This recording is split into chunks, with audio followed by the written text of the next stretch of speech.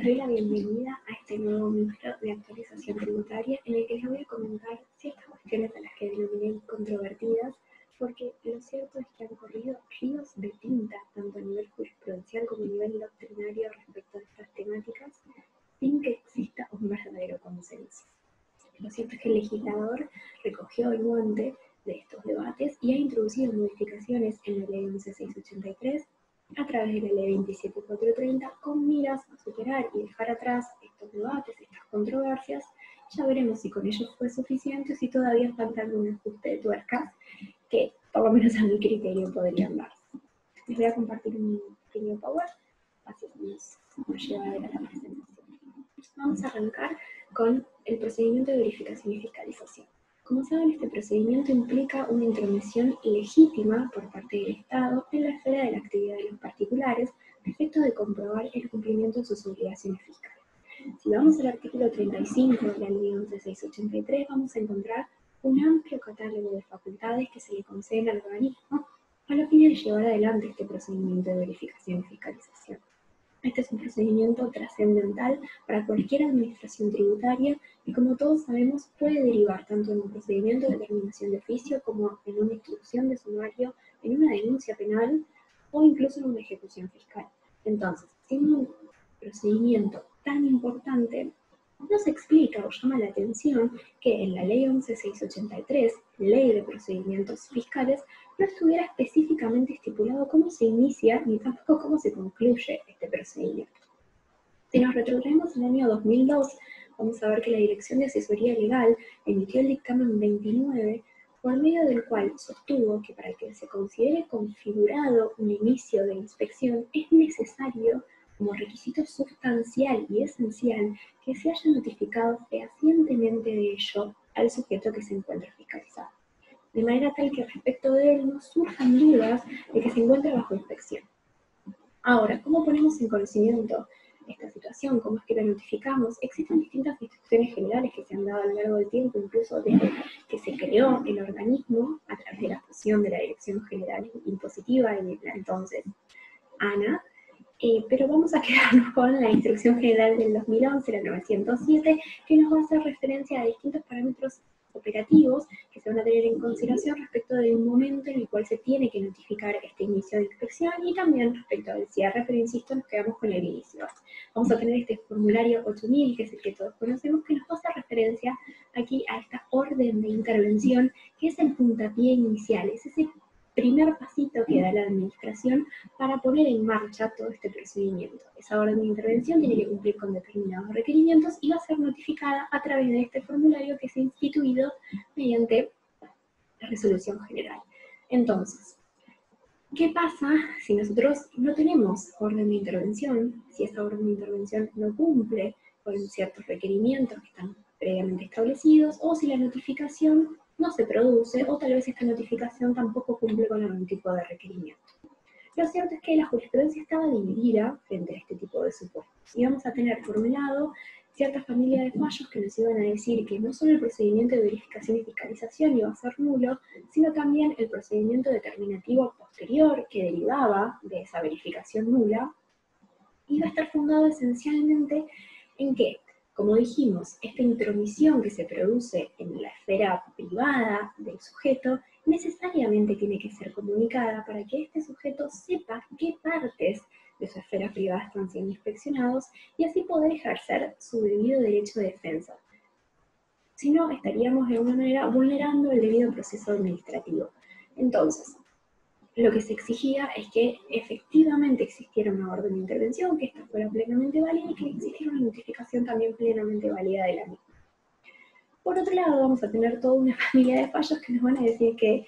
no es necesario declarar la nulidad automáticamente del procedimiento determinativo ni del procedimiento de verificación ante estos supuestos, sino que primero deber analizarse los antecedentes administrativos, es decir, el expediente administrativo, para ver si de él no surge de manera indubitable que el sujeto ha tenido conocimiento de que se encontraba bajo un procedimiento de verificación y fiscalización y cuáles eran los aspectos que estaban siendo fiscalizados. Entonces, ¿qué elementos podemos tener en el expediente administrativo que nos permiten llegar a, esa conclusión? Por un lado, los requerimientos fiscales, o sea, ver que el organismo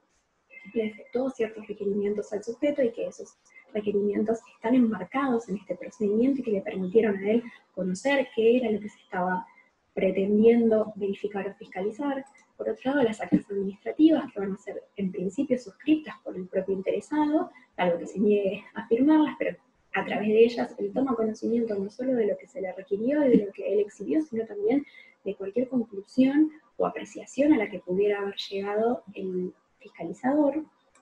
Por otro lado, también tenemos el libre acceso a las actuaciones, esta posibilidad que tienen los sujetos de acceder a los expedientes administrativos e incluso extraer fotocopias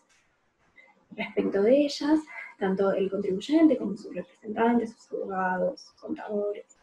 Em, y por último, algo que lógicamente eh, permite tener conocimiento de que lo que se está inspeccionando es el cierre de esta fiscalización, la notificación de los ajustes y la, la corrida de prevista, como se conoce, lleva a que indudablemente el sujeto sepa que se verificó y se fiscalizó algo, sepa que efectivamente es este impuesto por estos importes, este periodo fiscal, es esto lo que, el fisco está persiguiendo, entonces el procedimiento determinativo de oficio posterior va a tener la posibilidad de defenderse y ejercer plenamente ese derecho de defensa.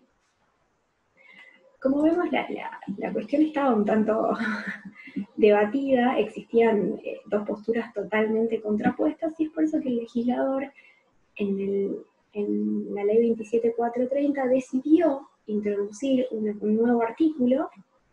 a la ley 11683, el que se va a conocer como artículo a continuación del 36 o 36.1, que va a establecer que los efectos de verificar o fiscalizar la situación de los contribuyentes y responsables, la FIP primero tiene que liberar una orden de intervención. Y esa orden de intervención va a tener que cumplir con determinados requerimientos estrictos específicamente establecidos por la norma. Primero, la fecha en la cual se va a disponer esa medida. En segundo lugar, quiénes son los funcionarios que están encargados para llevar adelante ese procedimiento de verificación y fiscalización. La identificación de los datos del sujeto que va a ser fiscalizado. Nombre y apellido, razón social, su clave única de identificación tributaria, el domicilio fiscal del sujeto. A su vez, tanto el impuesto como los periodos que están comprendidos dentro de esa orden de intervención, que son los que van a poder fundar un requerimiento posterior por parte del organismo y la firma del funcionario competente. Todo esto tiene que estar en la orden de intervención, la que debe ser notificada fehacientemente al sujeto. Y también es importante destacar acá que en aquellos casos en los cuales se pretenda ampliar esa orden de intervención original, necesariamente se van a tener que reunir los mismos recaudos que acabamos de mencionar. Entonces, respecto de esta modificación, vamos a ponerle pulgar para arriba al legislador, dado que recepcionó el debate, recepcionó la, discusión que se dio a nivel jurisprudencial, trajo seguridad jurídica al establecer esto a través de una norma de carácter de ley y ya, no instrucciones generales, que son cuestiones internas del organismo, y le permite al sujeto de alguna manera ejercer su derecho de defensa de manera plena, respeta las reglas del debido proceso y no se evita algún tipo de discusión judicial posterior. Lo cierto es que al estar estipulado en la norma, hoy por hoy, si no contamos con orden de intervención, si la orden de intervención no cuenta con estos requerimientos que acabamos de mencionar, o si no es notificada de manera fehaciente, la notificación contiene algún tipo de vicio que la pueda llevar a invalidar, indefectiblemente vamos a hablar de nulidad del procedimiento de verificación y todo lo que venga después del procedimiento de verificación y fiscalización. Por otro lado, vamos a hablar del valor probatorio de las actas de constatación o comprobación. Pero para empezar a hablar de ello, vamos a irnos primero a, lo que son las actas administrativas. Estas actas administrativas las podemos definir como un relato escrito y pormenorizado realizado por funcionarios en el ejercicio de sus funciones, en el que van a dejar constancia de algún acto, algún hecho, una situación que ha caído bajo sus sentidos o que ellos mismos han llevado a cabo. Lo esencial de las actas administrativas radica en que estas suelen referir a hechos, a actos o a determinadas situaciones que van a tener consecuencias jurídicas. Entonces, estas actas preconstituyen prueba y van a servir de fundamento para esas consecuencias jurídicas que van a venir. Entonces, es trascendental analizar el valor probatorio que las mismas tienen. Dentro de la ley 11683 vamos a poder encontrar dos tipos de actas. Por un lado vamos a tener las actas de comprobación, que van a ser aquellas que se emiten por los funcionarios fiscalizadores en el marco de este procedimiento de verificación y fiscalización del que veníamos hablando, y en él se van a dejar constancia tanto de las manifestaciones verbales que pudieran hacer los sujetos que están siendo inspeccionados, como también de la existencia y la identificación de aquellos elementos que son exhibidos, elementos documentales de prueba, y de cualquier procedimiento que, el, el fiscalizador esté llevando a cabo así como también de cualquier otra circunstancia o hecho que se pudiera haber percibido por cualquiera de sus sentidos. Por otro lado, vamos a tener las actas de notificación. Estas actas de notificación se caracterizan por relatar el procedimiento que se lleva a cabo a los fines de poner en conocimiento de determinadas circunstancias que la administración quiere noticiar a los sujetos. Normalmente estas circunstancias que queremos noticiar son resoluciones administrativas. ¿no? las vamos a tener reguladas en el artículo 100, inciso B. Ahora, en cuanto al valor probatorio de uno y otro tipo de actas, podemos ver que antes de la reforma, el artículo 35, inciso C, hacía referencia a que estas actas de comprobación iban a servir de prueba en los juicios respectivos. Mientras que el artículo 100, inciso B, cuando hablaba de las actas de notificación, nos decía que estas harán fe en la medida en que no se demuestre su falsedad. Y esta distinción entre una y otra generaba ciertas rispideces y ciertas opiniones encontradas. Y vamos a tener, por un lado, aquellos que consideraban que las actas de constatación, que son las que nos convocan, las actas de constatación o comprobación que se emiten en el marco de este procedimiento de verificación y fiscalización, eran instrumentos públicos y al ser instrumentos públicos necesariamente tienen que ser redarguidos de falsedad, mientras tanto hacen plena fe de todo aquello que el acta menciona, entre, entre quienes postulaban esta, esta tesitura, vamos a encontrar a la Corte Suprema de Justicia de la Nación en dos leading case que hacían referencia a actas de constatación en el marco del procedimiento de clausura preventiva. Y lo que nos iba a decir la Corte es, estamos hablando de actas emitidas por funcionarios públicos en el ejercicio de sus funciones. Indefectiblemente estas actas hacen plena fe, tanto de los hechos y los actos que el funcionario manifiesta haber percibido como de los procedimientos que manifiesta haber realizado. No existe duda frente a eso. Ahora, nos íbamos a encontrar sobre todo con posiciones doctrinarias que nos iban a decir, mm, me parece que no son instrumentos públicos, la realidad es que no existe ningún, ninguna disposición legal que diga que estas actas son instrumentos públicos, y simplemente son medios probatorios que nos van a servir para tanto el procedimiento determinativo como para el juicio posterior, pero cualquier elemento de prueba va a servir para desvirtuar el contenido de esa acta. No es necesario redarguirla de falsedad. Lo cierto es que esta teoría o esta posición doctrinaria se agarraba de, un de ciertos precedentes de la Corte que hacen referencia a que la imprevisión en consecuencia en el legislador no se puede suponer. Y entonces, si el legislador en la ley 11683 estableció que las actas de notificación hacen plena fe, mientras que las actas de comprobación simplemente sirven como medios de prueba, es porque tienen un valor probatorio distinto. Un tanto cuestionable, porque nos basamos en los fallos de la Corte que nos sirven y los que no nos sirven los descartamos, pero bueno, son posiciones doctrinarias. Frente a esto, vamos a decir que el legislador también recogió el guante respecto de estos debates y estas discusiones a nivel doctrinario o jurisprudencial, y ha decidido modificar el artículo 35, inciso C, y ahora nos va a decir que las actas de constatación o actas de comprobación van a ser plena fe mientras no se demuestre su falsedad. Y acá digo, ojo, vamos a volver a leer lo que nos decía el artículo 100 respecto de las actas de notificación. Acá decía, harán fe mientras no se demuestre su falsedad. ¿Qué quiere decir esto? Que las actas de constatación hacen plena fe, no solo fe como hacían las de notificación, en definitiva, lo que vemos es la intención del legislador de dejar atrás claramente estas discusiones y estos debates. Estamos diciendo definitivamente las actas de constatación son instrumentos públicos, hacen plena fe de aquellos actos, situaciones circunstancias que el fiscalizador manifiesta haber percibido por sus sentidos, así como también los procedimientos que él manifiesta haber llevado a cabo, vayan a juicio y redarguyan las de falsedad para acreditar que esto no fue así. Así que vamos a poner también el pulgar para arriba a esta reforma, ya que intenta superar y considero yo de manera eficaz a este último, pero no menos importante, es lo que más tiempo de análisis nos va a llevar, van a ser las medidas preventivas. Para empezar a hablar de medidas preventivas tenemos que retrotraernos al año 2012, momento en el cual se emite la Resolución General 3358, por medio de la cual, eh, si leemos sus considerandos, vamos a poder ver que la administración hace referencia a la existencia o creación de ciertas sociedades que posteriormente si bien solicitan su, inscripción en el organismo y se les, da de alta a una UIT, lo cierto es que no se dan de alta en, impuestos, o tal vez se dan de alta pero no presentan declaraciones juradas, o si las presentan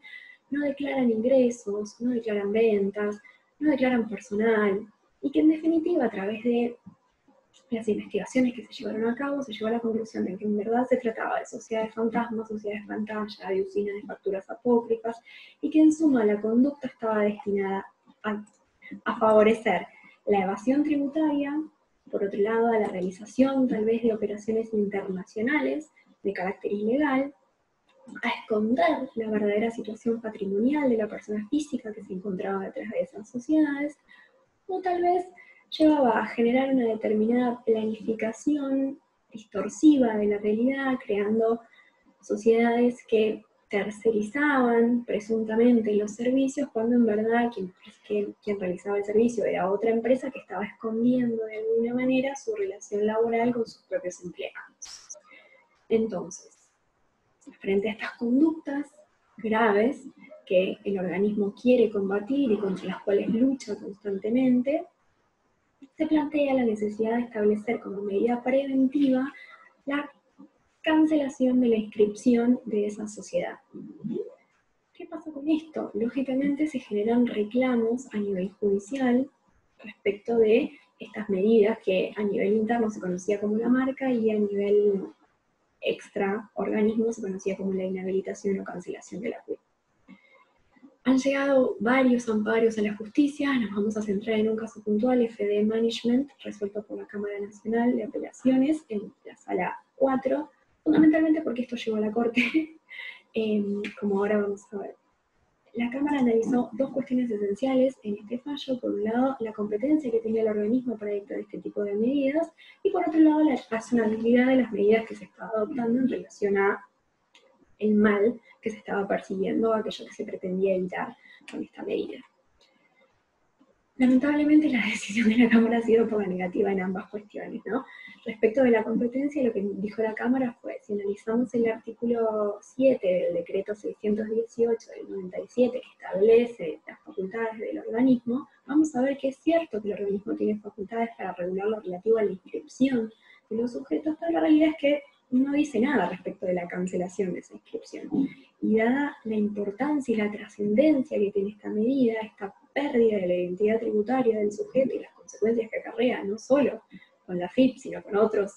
otras administraciones tributarias, incluso respecto a sus operaciones con terceros, no podemos considerar que esta facultad es una de las tantas que puede emerger de manera implícita de una norma y la podemos derivar de esto, de quién puede lo más, puede lo menos. Esto no es lo menos y necesariamente tiene que haber una disposición expresa que no existe y por eso es que se consideró que no había competencia. Ahora, alcanzaba con ello, no era necesario seguir, pero bueno, la Cámara siguió y consideró que tampoco supera el estándar de razonabilidad esta medida porque se considera desproporcionada en relación al fin que está persiguiendo, que es evitar la evasión o la creación de estas sociedades truchas, llamémosle. Por último, lo que nos va a decir es que de alguna manera se produce una innecesaria alteración del curso normal de todo procedimiento administrativo, porque lo que se hacía era detectar estos incumplimientos o llamémosle infracciones, se consideraba al sujeto un claro infractor, se le adoptaba la medida preventiva y se le cancelaba la quit y luego se le permitía que reclamara, que se hiciera el pataleo que le pareciera pertinente, ya sea a nivel administrativo o a nivel judicial. Este fallo, como les dije, llegó a la Corte, lógicamente la Administración lo apeló, y la realidad es que la Corte nunca llegó a tratar el fondo de la cuestión, consideró que no había cuestión federal suficiente, le aplicó la plancha, el artículo 280, pero en definitiva lo que implicó esta resolución de la Corte fue confirmar el fallo de primera instancia. Frente a esto, eh, y a los, a los amplios debates que se han generado, ¿qué fue lo que hizo el legislador? Inteligentemente estableció el inciso H en el artículo 35, es un nuevo inciso incorporado ahora con la reforma de la ley 27430, por medio del cual faculta a la Administración a adoptar determinadas medidas preventivas tendientes a evitar la consumación de ciertas maniobras de evasión. Estas medidas preventivas pueden recaer respecto de la condición de inscriptos y los contribuyentes irresponsables, respecto a la autorización para emitir comprobantes, a la habilidad de esos comprobantes para otorgar créditos fiscales a terceros, la idoneidad tal vez de esos comprobantes para respaldar ciertas deducciones tributarias y a la realización de determinados actos económicos y sus consecuencias tributarias. Si vamos a la condición de inscripto, lo primero que podemos decir es que la resolución 3358 ha sido derogada, que vamos a tener una nueva resolución, la 3832 del 2016, que ahora lo que establece son estados administrativos de la CUIT. Estos estados administrativos pueden ser activo, limitado o inactivo. En el caso de inactivo se va a dar básicamente por cuestiones preexistentes y situaciones muy especiales que en principio la norma esta no habilita a otorgar este carácter de inactivo. El activo es el que conocemos todos y el limitado lo que va a generar es que el sujeto no pueda acceder a determinados servicios. Ya no hablamos de cancelación, no hablamos de suspensión, no hablamos de que se pierde la identidad tributaria, sino que la CUIT sigue existiendo, pero el sujeto va a estar limitado en los accesos dentro del organismo. Esta limitación se puede dar por falta de presentación de declaración jurada, por falta de declaración de personal, por declaraciones en cero, por falta de inscripción en eh, los impuestos, o también algo nuevo que se genera es la base de contribuyentes no confiables. Esta base de, contribuyentes no confiables se va a dar básicamente porque existen ciertas inconsistencias entre la capacidad económica, operativa o financiera del sujeto y aquello que está manifestando o exteriorizando a través de sus declaraciones juradas o sus comprobantes. Y a su vez, este carácter de sujeto no confiable también se puede dar en materia de seguridad social, y la información respecto de seguridad social, lógicamente va a estar vinculada a las relaciones laborales, a la creación de nóminas laborales que no de, nóminas de empleados, perdón, que, no sean reales, que sean ficticias, a que eh, se establezcan o, se declaren ciertos vínculos o ciertas condiciones laborales que en realidad no se compadecen con las contrataciones que efectivamente se hayan realizado. Y toda esta información no solo va a provenir de FIP, sino que también puede provenir de ANSES. En cuanto a esto, podemos decir que respecto de la base de contribuyentes no confiables y de la limitación de una quit por estar incluido en esta base de contribuyentes no confiables, existe un fallo favorable bastante reciente de la Cámara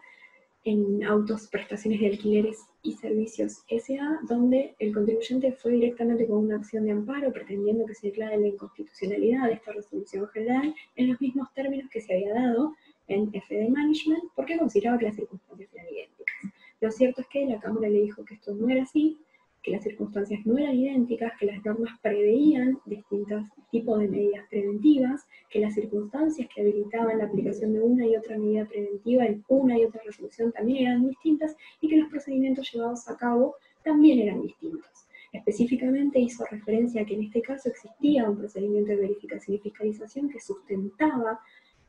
la adopción de esta medida, que ese procedimiento de verificación y fiscalización había concluido con un informe final que dejaban claro los incumplimientos en los que había incurrido este sujeto y por qué se le incluía en esa base de contribuyente no confiable y cómo esa inclusión llevaba justamente las limitaciones que efectivamente se le habían aplicado. Y otra de las consideraciones que tuvo la, la Cámara al resolver fue que esta limitación de la quit se dio con posterioridad a la introducción de la reforma de la ley 27430. O sea, como vemos, esta resolución general de la FIP es del 2016, es una resolución previa a la reforma. La reforma vino a darle validez de alguna manera a esta resolución general y la Cámara lo convalida, considera que está bien en la medida en que esta inclusión en la, en, la, base fue con posterioridad a la reforma, que entonces incluso tenemos el procedimiento propio de la reforma y las facultades que la reforma le concede a la administración. Hubo algún que otro fallo también de favorable respecto a esta cuestión, pero no lo vamos a comentar, nos vamos a quedar con este que nos beneficia. Por otro lado, en cuanto a la autorización de emisión de comprobantes, lógicamente nos lleva a la resolución general 4132 del 2017, también por unos poquitos meses anterior a la reforma de la ley 27430, que va a establecer un régimen sistémico y periódico respecto de el control de la emisión de comprobantes que realizan los responsables inscritos y que va a permitir, frente a determinadas situaciones, que esos responsables inscritos sean autorizados por la FIP a emitir única y exclusivamente comprobantes de clase M. Cuando sean esas circunstancias, primero y esencialmente cuando existan ciertas inconsistencias entre los montos facturados por estos responsables inscritos y la capacidad técnica o económica que estos tienen, ya sea para la prestación de los servicios o para la realización de las ventas de bienes que estos realicen. Y después cuando existan ciertas irregularidades o incumplimientos fiscales vinculados con sus obligaciones. El hecho de este, este último, esta última condición, esta irregularidad o estos incumplimientos llevaron a que se generen dudas y ciertos debates que hicieron que la administración emita la circular 5E del 2017 aclarando que por el mero incumplimiento formal o por ciertas irregularidades ahí perdidas y aisladas, no se iba a aplicar esta medida preventiva, sino que era necesario que el sujeto efectivamente encuadrara dentro del primero de los parámetros de las inconsistencias y se tuviera en consideración justamente los parámetros que el anexo de esta resolución contempla, que son el control entre los comprobantes emitidos y las acreditaciones bancarias, la actividad desarrollada, los empleados que tiene el sujeto, los bienes registrables, cuál es la calificación que tiene en el sistema de riesgo fiscal y demás. Por otro lado, en lo que hace a condicionar la habilidad que tienen estos comprobantes o la idoneidad que tienen para otorgar créditos fiscales o para respaldar las deducciones, de alguna manera nos hace recordar el artículo 34 de la ley 11683, que refiere justamente a esta posibilidad de condicionar el cómputo de deducciones, créditos fiscales y otros efectos tributarios a la utilización de determinados medios de pago. Recordamos que este artículo contempla la posibilidad de acreditar que efectivamente existió esa operación y que entonces este condicionamiento del cómputo cae y se, se, habilita que se puedan computar las deducciones y los créditos fiscales porque se acredita que en definitiva esa factura no es apócrifa, la factura que está documentando esta operación que tal vez se hizo por, por un medio de pago que no era el que la administración solicitaba. Y acá también tenemos que tener en consideración el artículo 2 de la Ley de Prevención de Elevación, que, como sabemos, a través del fallo Mera Miguel Ángel, la Corte Suprema de Justicia de la Nación declaró inconstitucional. Este artículo 2 lo que hacía era directamente considerar que evitar directamente, ya no, no, es que condicionaba el cómputo de las deducciones, sino que prohibía que esas deducciones o ese crédito fiscal se, se computaran cuando las operaciones no se realizaban, el pago de esas operaciones no se realizaba a través de los medios establecidos en el artículo 1 de esa ley, que básicamente era no pago en efectivo. Lo que la Corte dijo en el fallo de Mera Miguel Ángel es que estas presunciones en la medida en que no admiten prueba en contrario, se apartan de la realidad económica, se apartan de la capacidad contributiva y no pueden ser, no pueden ser válidas, no pueden ser utilizadas, que necesariamente tiene que existir una vía o una posibilidad de acreditación si esa actividad o esa operación efectivamente existió. Em, por último, vamos a hacer referencia a que este inciso H del artículo 35 no solo contemplaba estas medidas que se pueden adoptar, sino que también contempla una posibilidad de reclamo por parte del sujeto en caso de que esté disconforme con la medida preventiva adoptada por el organismo, que en principio ese reclamo no tiene un plazo para ser establecido y que se va a conceder con efecto devolutivo como primera medida, salvo que se trate de suspensión de la condición de inscripto, y ojo, dice suspensión de la condición de inscripto, y en, cuyo caso se va a dar con ambos efectos, a su vez que el organismo tiene un plazo de cinco días para resolverlo, y que en caso de que esta, este reclamo le sea resuelto de manera desfavorable y el sujeto pretenda recurrirlo, tiene la vía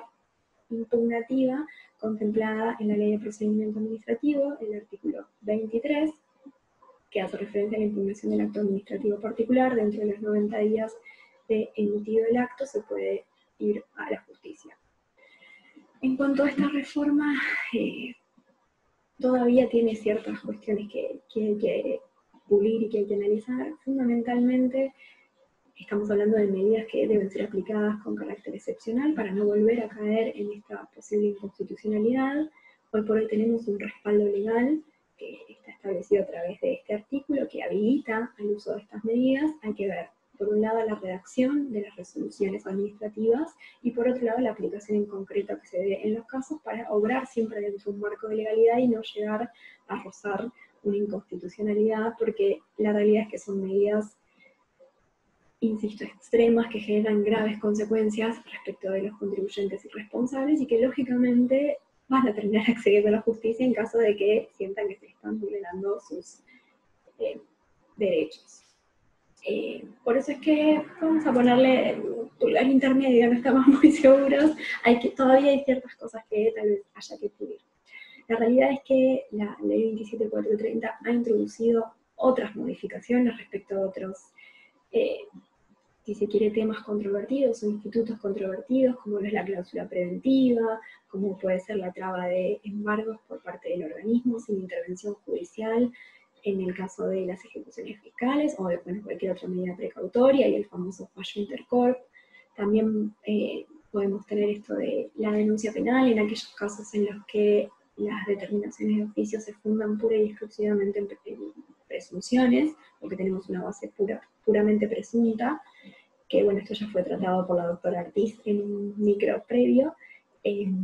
pero bueno, como saben el tiempo es tirano, así que nos vamos a quedar con estas modificaciones que a mi modo de ver fueron bastante importantes y,